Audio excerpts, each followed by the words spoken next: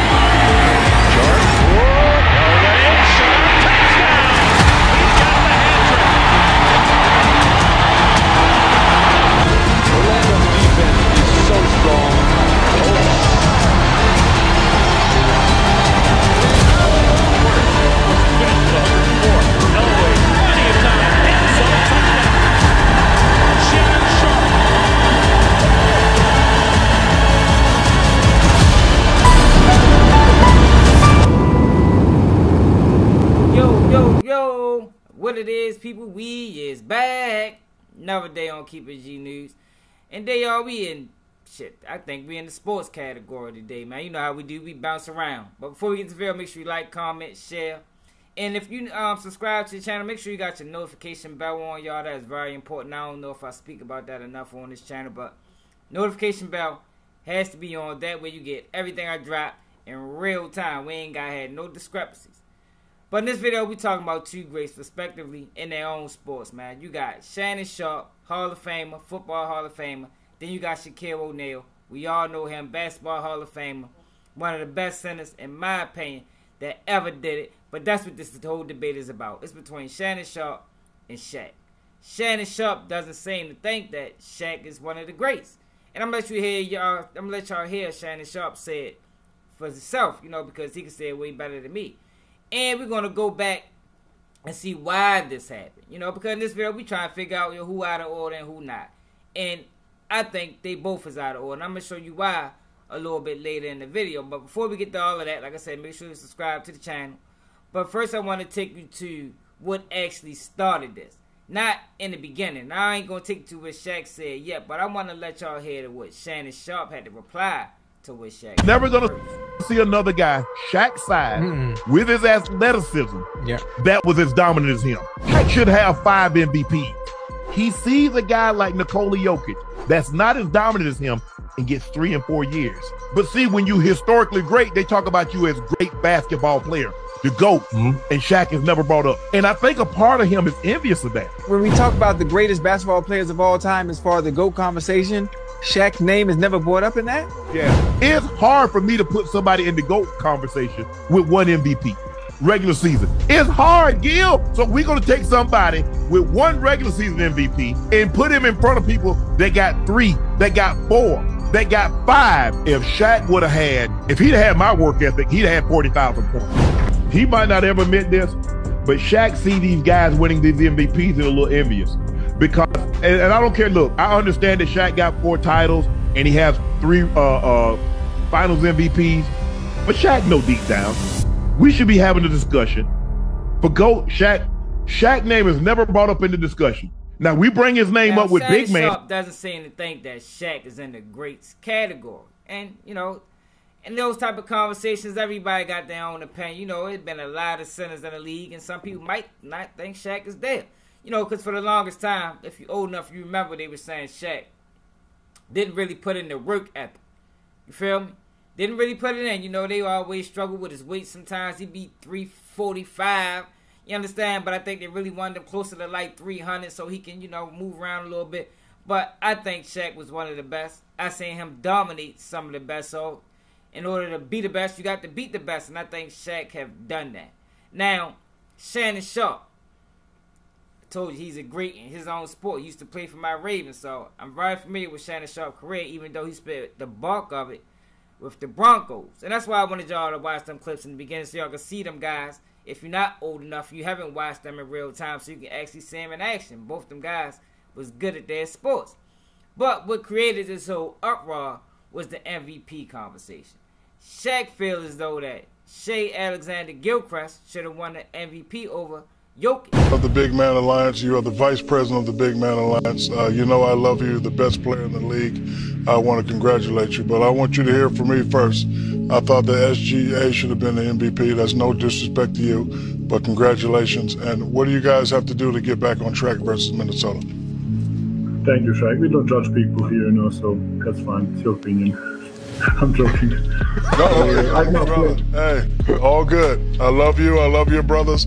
One thing we always gonna do is keep it real with each other. Congratulations. I love No, you. for real, I think there is a lot of people. Now, before that, I get to why I think they both is wrong, I want y'all to hear what Shaq had to say. You know, because Shaq always been this type. But Shaq ain't gonna run for nothing. If you bring his name up and he feel the need to respond, he's gonna respond. So this is what Shaq had to say about Shannon Sharpe and his hate towards him. You took me sticking up for Shai, acts of jealousy of Joker. I don't know what that means. Shows how smart you are and how you say anything to get clicks. So here's some clickbait for you. If you ain't ranked in the top 10 of your profession, then you can't speak on me. Don't forget, I know what you did to get where you at. Me jealous sounds like you jealous. I know you try and stay relevant by gossiping on your podcast. We don't believe you. Need more people. And in case you forgot, four rings, three finals MVPs, top 50, and top fun, uh, and top 75. Google me. And be quite frank, all of this new success you got, you still under me. You don't know my work ethic, but according, I work less than you, but I'm worth more than you. Make it make sense.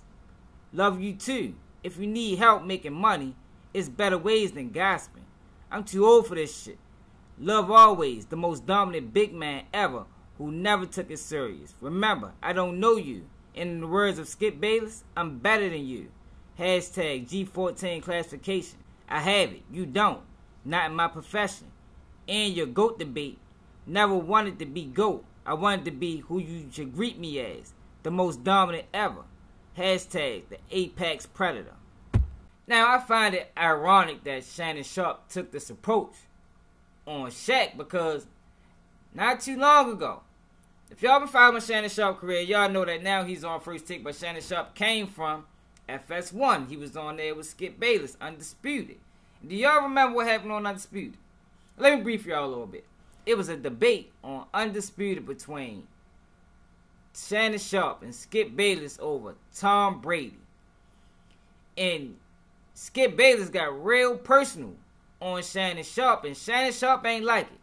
Check it out. You, you have no objectivity. It's just straight Brady hate. Wait a minute. Wait a minute. This is just straight hate by a guy who's jealous that he is still playing at a high level at 45 when you had to stop at 35. That's what you That's do. the point. That's, I mean, that's in Hall of Fame. Okay, I so got three what? Super Bowls. So what? So what? He's way better than you were. I'm better than you. Better. Yeah, what does that got to see what you do? You take personal shots. No, I don't- I don't take personal Hold shots. time You out, time Now, out. the started video, I told y'all I think both of them is wrong. And I'm going to get to the reason why I think Shaq was wrong. But what Shannon Sharpe just did to Shaq was kind of similar to what Skip did to Shannon. He made it personal. He attacked his work ethic. And I ain't gonna lie, I'm gonna keep it real. I remember people did question Shaq work ethic. But when you in the business and at the end of the day, y'all are some type of counterparts because y'all all in media. Y'all basically sharing the same space to some level or degree. You know, Shaq speak on basketball, Shannon Sharpe speak on everything, but y'all counterparts and it's supposed to be something called journalistic integrity. You ain't really supposed to bash people that's in the same field of you, unless it's personal. And I think that's why Shaq took it personally because that was a personal attack. Like he could have said everything he said without mentioning that Shaq may have felt some type of way or questioning his uh, credentials in his career and his credibility. He ain't had to go all into that. He questioned the man work ethic, man. That is very disrespectful, yo, in any field to question somebody's work ethic. Now, the reason I think Shaq is wrong, because not too long ago, y'all, we had the national championship NCAA women's finals. Do y'all remember that? And in the women's finals, it was a conversation between Gayle and Dawn Staley. Now, Dawn Staley team won, and uh, I think a lot of people in America, not me, you know, because I'm going rock with the, you know, but I think a lot of people wanted Caitlin Clark to win this championship. And Gayle had an interview with Dawn Staley, and this is what she said. I'm saying, so happy. The game was such a good game. It was so close at times, and in the end, you guys pulled it out. But was there ever a point during the game when you were worried? Because I got worried. We, we were all cheering for Iowa, of course, and Caitlin Clark. But for so many people, you've got their hearts. Was there ever a point where you were worried during the game? I, I wasn't ever worried during the game. I know, you know when we went down. Now, Gayle 10-0, caught a lot of backlash for that conversation that she had with Dawn Staley. And the reason why, you know, the backlash was centered around the fact that Gayle took Dawn Staley's moment. This is her moment to, you know, to, you know, to show off a little bit, you know, to congratulate her. And she stole it from her by saying most of the world wanted to see Caitlin Clark win. And I don't remember that. I know some. It was a segment of society that wanted to see her win, and Caitlin Clark is a great basketball player on any level. I ain't. I mean, we ain't. I don't think a blind man would not be able to see that. But in this moment, when Dawn Staley team obviously was the better team, obviously outcoached Caitlin Clark's uh, coach and won the championship, how you gonna steal our moment? And that's basically what Shaq did to Jokic. Now I understand that Shaq might he might do feel some type of way. Jokic got three MVPs, and Gilchrist Alexander did his thing this year. I think he averaged like thirty something points. So you really want to see them awards get spread around. And sometimes people think it got some racial undertones to it. But at the end of the day, you can't steal this moment, Shaq. Even if you felt that way, you know, you could have had that conversation personally. You didn't have to have it on air. And you can tell how Jokic responded. He was a little bit taken back by it, even though he played it off to the best that he could. But he was a little bit taken back by it because it's like, damn, yo, like, I won MVP. Okay, you wanted Shea to win. That's cool, but he didn't win. So that's the reason I think both these guys was wrong because both these people have spoken on these type of situations or been in a situation where their integrity has been questioned or, you know what I mean? And they know how I feel. So Shannon Sharpe was dead wrong for questioning uh, Shaq on his uh, work ethic and how he feel about the, the, the awards being handed out. And Shaq was dead wrong for doing what he did to Jokic. So I understand both parties. But I don't know how y'all feel about this, man. Who was wrong, man? Do y'all understand what I mean by I think both of these guys was wrong. I don't think in no type of I questions people in integrity. That's what we do on Keep It G News. But when you reach that level, the level that they at, yo, you gotta do it a little bit different, in my opinion. Well, maybe you don't. Let me know in the comments, man. It's another day of Keep It G News. And I'm. Nigga can't do what I do, y'all niggas can't copy me. Let's keep shit G. Let's keep shit G. Let's keep the shit G. Let's keep shit G. Let's keep shit G.